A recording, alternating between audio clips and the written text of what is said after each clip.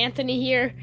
Today I uh, I got this toy from my uncle and I wanted it so bad so I could put a motor on it and have fun.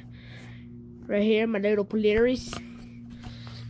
Um yeah, there's a control arm. I put a new axle, I new mounts for it. Mounts for my brakes right here and mounts for my uh, motor over here. This is my brakes. You just push forward to stop. Controls. And my steering wheel. I had to extend my steering wheel because I put my seats. They were right here. And I got new wheels finally because I had plastic wheels and I would get understeer. And I fixed uh, my tie rod broke, so I fixed my steering. And yeah, I'm gonna